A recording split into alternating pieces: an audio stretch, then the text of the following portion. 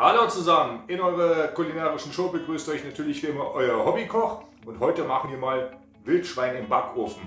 Natürlich kein ganzes Wildschwein, das ist klar, aber so ein Wildschwein-Rollbraten habe ich mir so gedacht. Was wir dazu benötigen, wie das funktioniert, zeige ich euch nach dem Intro natürlich wie immer da. Haut da oben auf die Glocke, abonniert den Kanal, wenn ihr nichts mehr verpassen wollt und jetzt geht's schon los.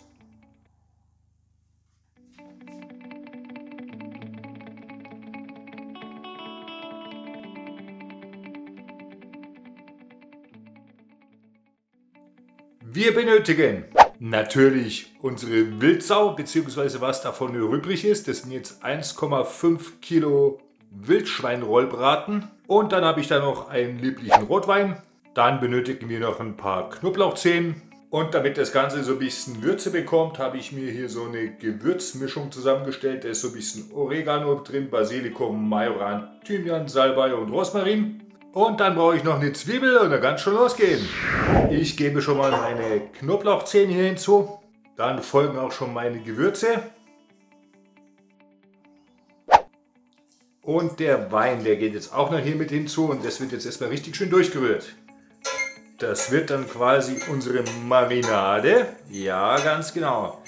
Ich möchte das Wildschwein noch mal so ein bisschen einlegen, dass das so ein bisschen ja, die Gewürze aufnimmt und so ein bisschen Tick von dem Rotwein gewinnt.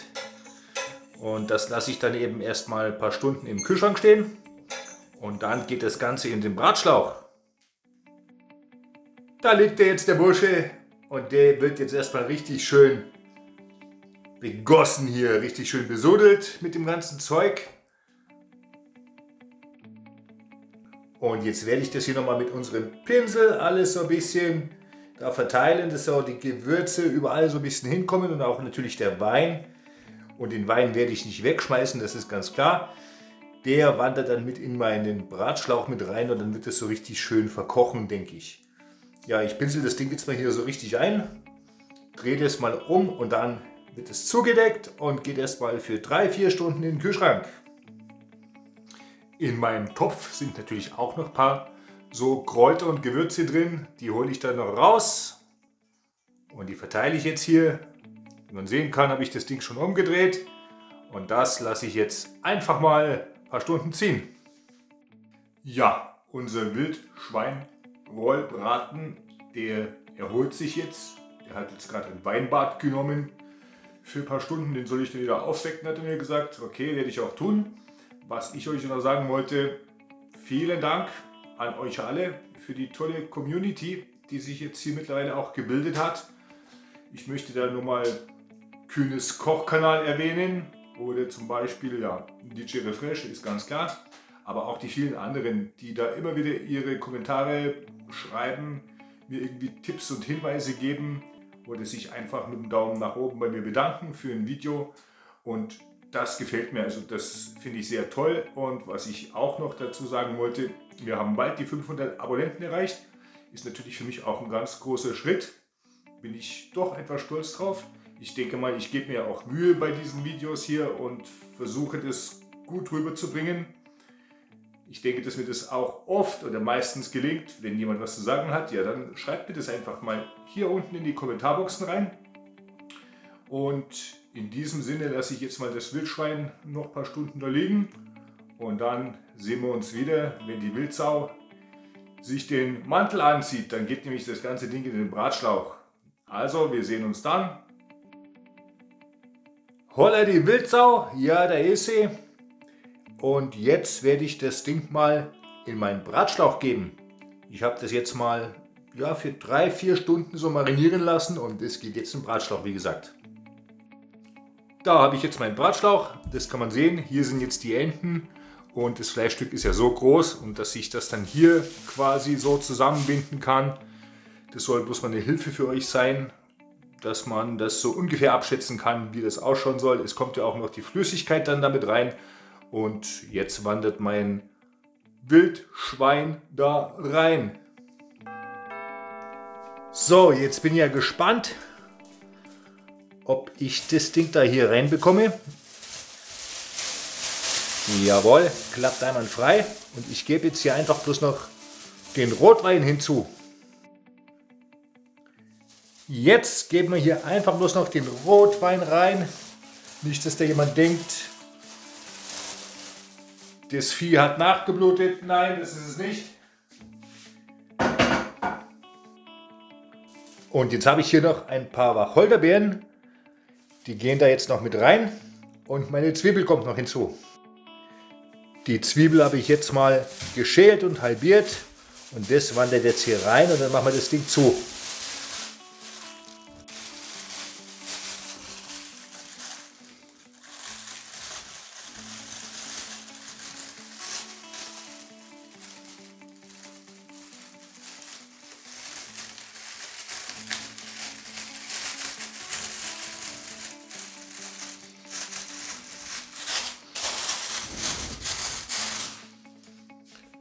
Und das wandelt jetzt in den Backofen.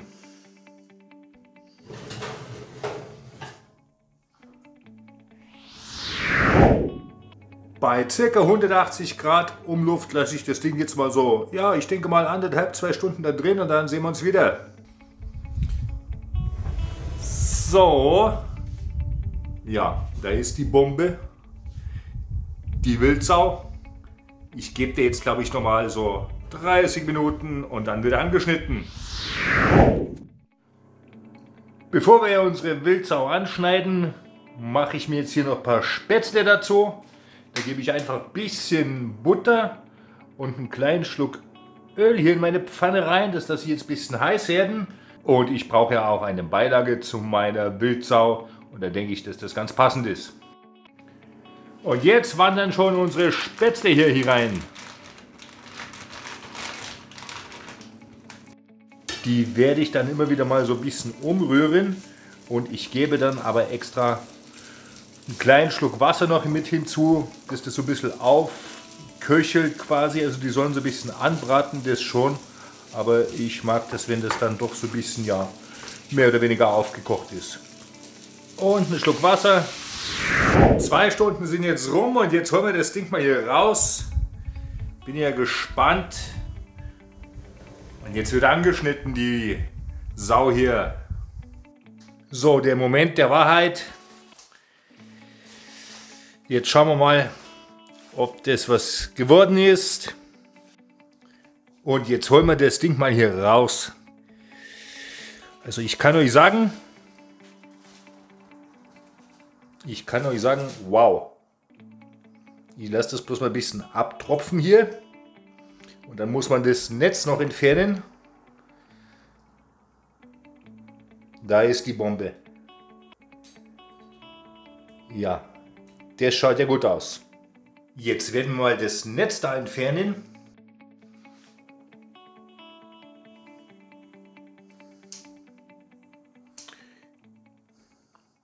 Ich kann euch sagen, das ist verdammt heiß. Ich schneide das jetzt hier einfach mal so auf.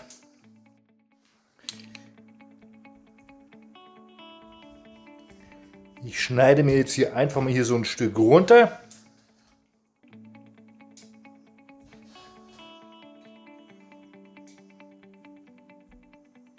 Ja, das sieht doch schon ganz gut aus. Und das werde ich jetzt gleich mal auf dem Teller hier servieren. Schaut euch das mal an. Da ist das Wildschwein. So schaut das Ding jetzt aus. Natürlich paar Spätzle dazu und ein paar so Salatkräuter habe ich da noch drüber gestreut und natürlich Preiselbeeren, wie sich das zu Wild gehört. Und ich denke mal, das werde ich mir jetzt mal schmecken lassen.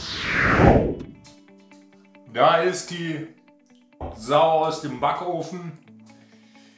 Das Wildschwein, der Wildschweinrollbraten aus dem Backofen. Da steht er noch, noch, ja, wohlgemerkt, da steht er noch. Wenn euch das Video gefallen hat, natürlich einen Daumen nach oben, haut auf die Glocke, abonniert den Kanal, teilt die Videos, schreibt was in die Kommentarboxen rein und ich werde mir das Ding jetzt hier munden lassen. Schaut euch das mal an. Oh Gott, das schaut doch toll aus. Also, bis demnächst in eurer kulinarischen Show. Ciao, tschüss, euer Hobbykoch.